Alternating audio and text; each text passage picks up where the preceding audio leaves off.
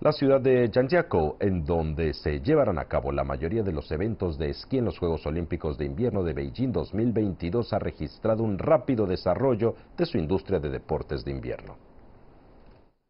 En Zhangjiakou se han construido dos parques industriales para deportes de invierno de más de 200 hectáreas cada uno, esto en cooperación con una decena de países europeos y norteamericanos que cuentan con fuerte presencia en la industria. Según el gobierno municipal de Zhangjiakou, a fines de octubre se habían introducido 62 proyectos de la industria de nieve y hielo por un valor de más de 34 mil millones de yuanes o unos 4.800 millones de dólares. Nueve estaciones de esquí ya se han puesto en funcionamiento en toda la ciudad, atrayendo a 2,86 millones de aficionados del deporte durante la temporada de nieve 2018-2019. El grupo de estaciones de esquí más grande de China cuenta con 177 pistas y una longitud total de 164 kilómetros. Hasta ahora, Zhangjiakou ha acogido más de 170 actividades profesionales y de aficionados. Entre tanto, una decena de colegios y escuelas técnicas de la ciudad han abierto más de 20 carreras relacionadas con deportes de hielo y nieve, a fin de entrenar al personal para los próximos Juegos. Adicionalmente, clases de este tipo de deportes también son ofrecidos por las escuelas de primaria y secundaria, para así fomentar el interés entre los estudiantes.